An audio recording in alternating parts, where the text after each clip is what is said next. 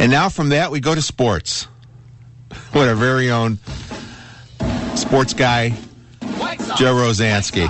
Go, go, White Sox. Let's go, go, go, White Sox. We're with you all. Ah, yes. You're always in. The bandwagon. Do your best. We're glad you Good morning, Joe. Good morning, Jake. We're gonna root. Boy, that's a tough, uh, tough intro to follow. What, the White Sox song? Uh, that too.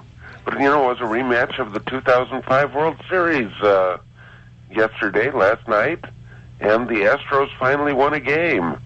Unfortunately, they beat the Sox eight to three. Now, how many players do you think are still uh, active on the Astros and Sox since the 2005 World Series? Well, all the players are active. They are, but only three were playing for the World Series teams. For the Sox, it was uh, Konerko and Pierzynski, and last night's winning pitcher, Wandy Rodriguez, was the only Astro. So rosters sure change. When you when you started out saying it was a rematch of the World Series, I thought you were talking about the you know the Rangers playing the Giants last night. Well, no, that rematch was of the, rematch of the 2010 series. Well, yeah, I did say 2005. eventually, yes. Yes. So the, Sox lost. How'd the Cubs do? Well, the Sox, they are still in first place by a half game over Cleveland. Uh, the Cubs, uh, well, Alfonso Soriano hit two home runs. Uh, Starlin Castro hit number five. And somehow they all managed to remember how many outs there were for the whole game.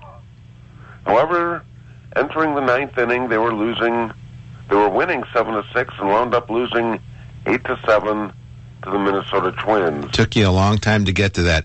Uh, how about how about hockey? What do we need to know about hockey? hey, don't you want to hear the Yankees beat the Mets 9 to one? We 1? always close with that. Yankees win the. Well, which means we're just closing with Joe. Thank you, Joe. See you next week. He did, to, he did to himself this week, folks. Yankees. Let's get behind and cheer the Yankees. feel the Yankees. Everyone knows they play the See that we always close with the Yankees. He jumped to it. Blame Joe. Don't blame me. But think times are good. Yankees won. Two bandwagons going. Wake with Jake back after this at 629 on W 89 WLS. 89 WA.